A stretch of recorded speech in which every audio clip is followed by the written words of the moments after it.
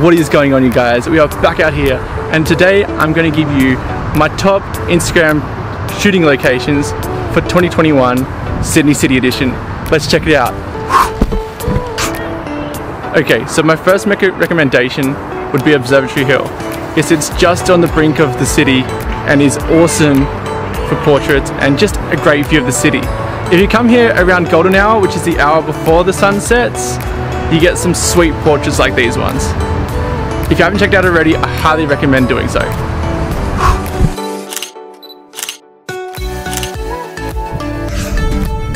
Okay, so the next place that I've come to right as the sun is setting is the steps of the Opera House.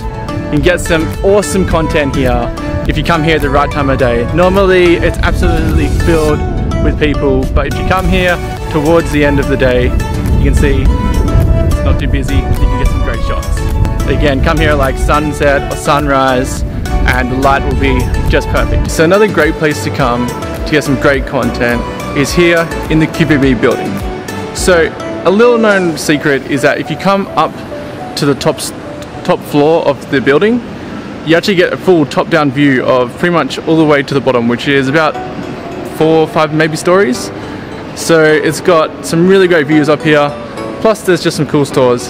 But if you want to get some really awesome symmetrical photos or even just some great top-down photos, highly recommend coming up here.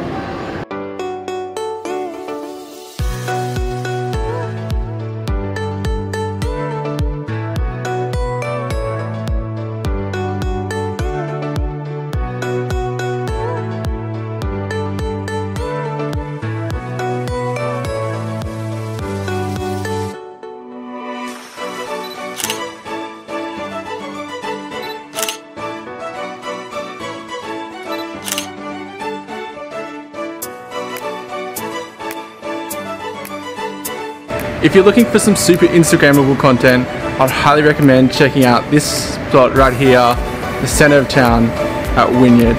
So this place is right where the train station is. I mean, if you come to the train station, there's a good chance you'll probably end up going past this section.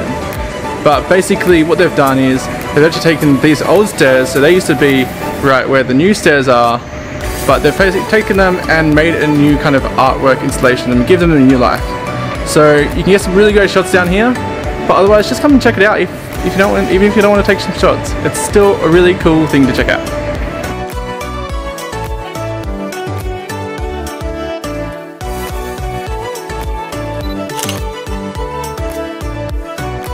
So another great spot to come to to get some awesome long exposure before it gets dark or whilst it's dark actually is the Domain Expressway Lookout. This place offers you awesome opportunities to take some great long exposures of the traffic below without being in the middle of traffic. It's actually really super safe because it's got the fence here and you can literally just set up your camera on the tripod and you're pretty much good to go to put on long exposure. Capture some nice trails of the cars going by. If you like long exposures, definitely come to this place.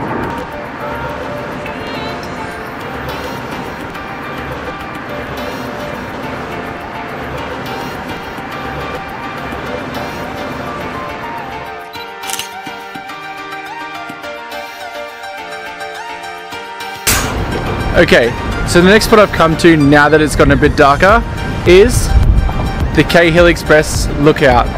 So if you come here at the right time of year and usually at night, you can get some really cool long exposures.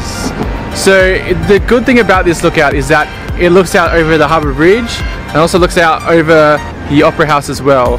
So this is a super popular spot when Vivid was on or is on um, but yeah, otherwise, I highly recommend you guys coming here. Um, come here at night or just during the day. It's just a pretty good lookout point. But these are what the shots turn out like.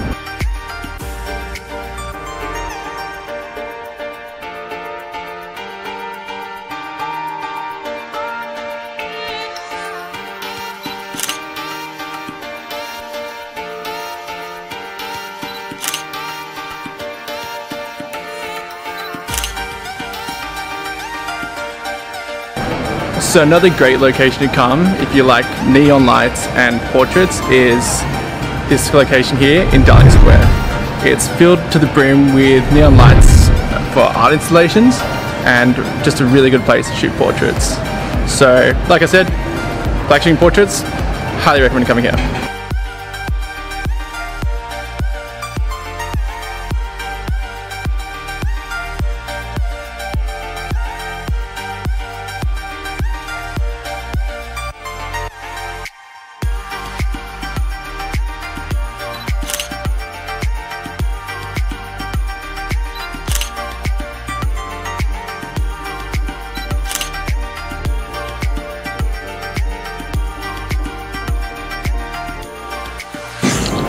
And finally, last and definitely not most least, is Kimber Lane here in Chinatown. These cool blue figures up in the sky transform this otherwise boring lane into an awesome and epic place to get some great portraits. So let's just check this out.